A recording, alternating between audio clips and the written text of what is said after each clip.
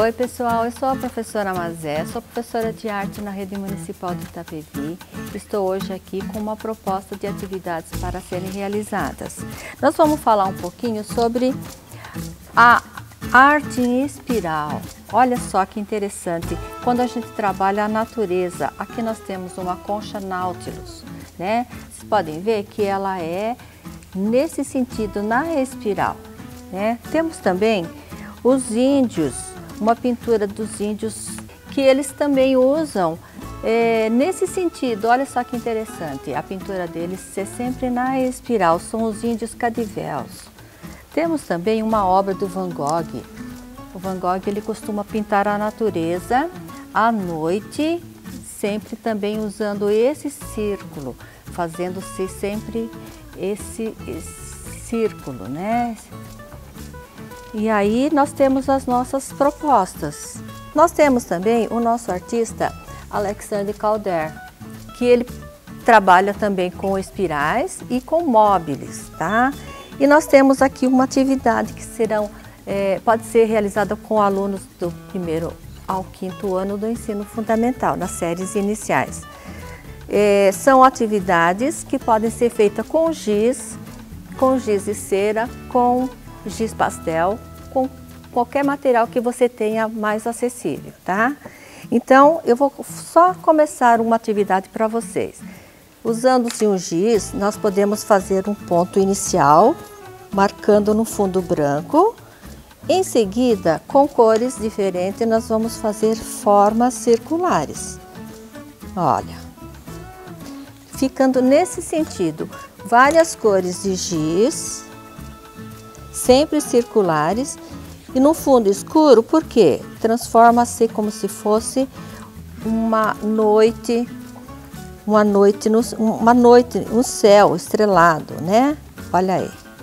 E aí depois esfumaçando-se um pouquinho, dá-se aquela sensação de que nós estamos trabalhando com as galáxias, né?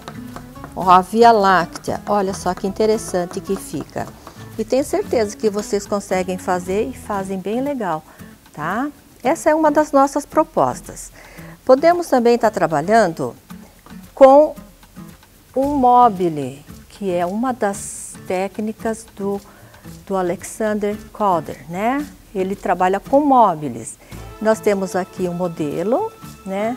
E eu comecei aqui a apresentar para vocês com um círculo. A partir de um círculo, nós estamos fazendo as, as linhas que vão ser cortadas. E aí nós podemos fazer assim, olha.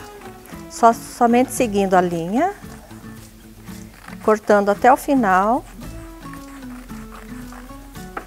E aí depois fica pronta a nossa cobrinha, que pode se transformar num móvel, tá? Pode ser usado para outros fins também, decorações tá? Olha que interessante.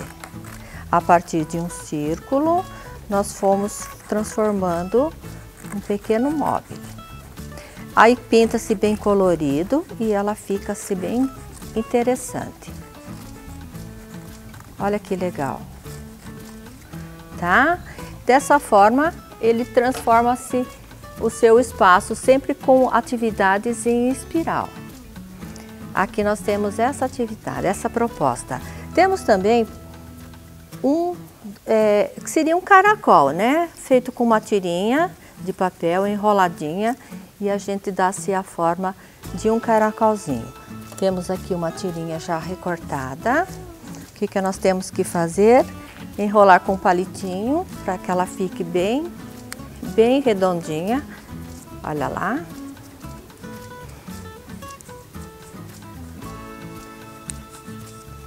Isso, olha aí. Aí quando tira-se, formou-se o nosso caracolzinho, né? Aí só a gente coloca as anteninhas e faz o olhinho nele e cola-se numa folhinha para que ele tenha um espaço onde ele possa estar. Tá? Olha aqui. Que legalzinho que fica. Tenho certeza que vocês vão conseguir fazer. Olha lá. O nosso caracolzinho. Essa é mais uma ideia para vocês. E temos também o nosso o nosso suporte de panelas, que pode ser feito com jornal, suporte para copos também, ou pode ser até um modelo para ser uma decoração no seu ambiente, né? Se você quiser colocar lá na sua varanda, faz o tamanho que quiser e depois cola-se, dando-se uma forma, né? Então isso daqui ele é feito a partir do quê? Dos canudinhos, canudinho de jornal. Começa assim enrolando os canudinhos, colocando cola, sempre dando-se uma forma é, formando-se um círculo, tá? Então aqui eu vou dar um início para vocês. Olha aqui. Nós vamos sempre enrolando, rodando, até que ele vai dando aquela forma. O interessante é que todos os canudinhos sejam da mesma grossura, né? Porque senão vai sair uma parte mais grossa, a outra parte vai ser mais fininha, tá? vai colocando cola e vai dando forma no nossa, na nossa espiral. Depois que termina, você pode passar cola para impermeabilizar ou então pintar, tá? Pode pintar com guache, com tinta acrílica e ele vai, vai transformando. Terminou aquele canudinho, coloca-se a cola e com, começa um outro. Olha aí. E assim a gente vai aumentando o nosso, o nosso suporte. Olha aí que legal que ele vai ficando. Tá? Vamos colocar mais um pouquinho de cola aqui. Assim, olha que legal. E aí no final ele acaba ficando como o modelinho que eu trouxe aqui para vocês. Tenho certeza que vocês conseguirão fazer, tá? Olha só. sempre encaixando um, um palitinho, mais um, até o tamanho que você deseja, tá? Olha. E assim que a gente vai conseguindo, vai contornando e vai formando o nosso trabalho. Temos também aqui uma outra proposta, que seria uma obra do Calder, tá? Há várias, vários modelos de atividade que ele propõe. Ele cola-se barbante, pode-se usar tinta, é, linhas, fitinhas que ele vai colando no seu, no seu trabalho. Então ele coloca assim, coloca, faz-se o desenho e aí coloca a cola e vai colocando o barbante ou a fitinha para que dê esse movimento, tá?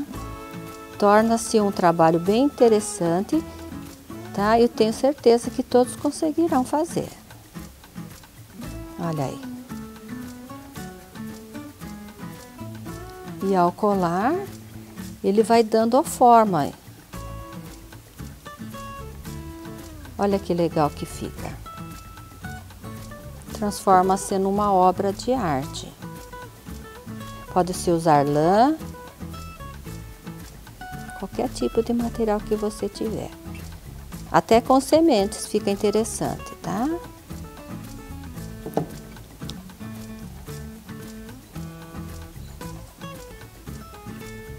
Olha aí.